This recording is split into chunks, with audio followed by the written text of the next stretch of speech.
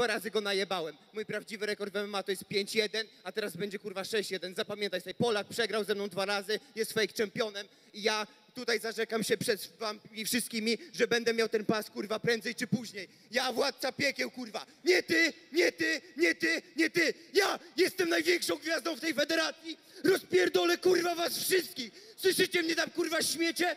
Możecie szczekać o walkę ze mną. Ja jestem kurwa Dobra. gwiazdą. Nie macie ze mną szans. Bez treningu cię rozpierdolę. Zapamiętajcie moje imię. Amadeusz Ferrari. Mocne. Mocno! Władca piekieł!